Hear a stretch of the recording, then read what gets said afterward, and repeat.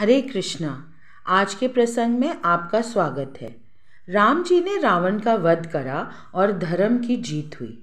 राम जी ने लक्ष्मण को कहा कि रावण महाज्ञानी है। अंत समय में उससे ज्ञान लो। नीति क्या होती है, रावण से अवश्य सुनो और आशीर्वाद लो। लक्ष्मण जी अपने ज्येष्ठ भ्राता की आज्ञा का पालन करने रावण के चरणों में बैठे और प्रार्थना की, कृपया मुझे उपदेश दीजिए, ज्ञान दीजिए। रावण ने मुस्कुराते हुए स्वागत किया और उपदेश प्रारंभ किया। बोला, लक्ष्मण, मैं सर्वशक्तिमान था, इंद्र भी मेरी बात मानते थे।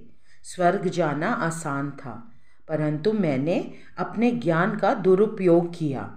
जिसके कारण आज मेरी ये स्थिति है। श्रूपनखा के कहने पर मैं सीता देवी के सौंदर्य के प्रति मोहित हो गया, जो मेरा विनाश का कारण बना। रावण बोला, अब आगे सुनो। एक, अच्छे कर्म करना हमेशा लाभदायक होता है। दो, बुरे कर्मों को शुरुआत में ही रोक देना चाहिए, बढ़ने नहीं देना चाहिए। तीन अपने चालक, द्वारपाल और भाई से घृणा मत करो। वो भेदी होता है, तुम्हें मार डालेगा। चार, ये कभी मत सोचो कि तुम हमेशा जीतोगे। केवल प्रयास करते रहो, हार जीत का विचार छोड़ दो। पाँच, जो तुम्हारे अवगुण बताए, ऐसे मित्र को कभी मत त्यागो।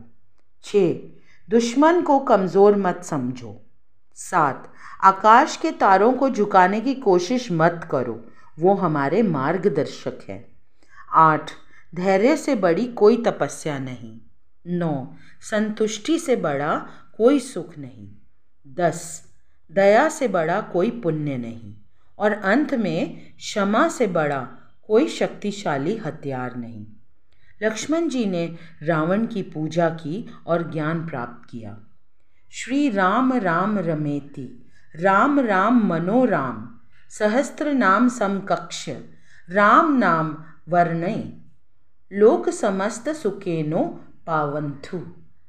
सर्वम श्री कृष्ण अर्पणम।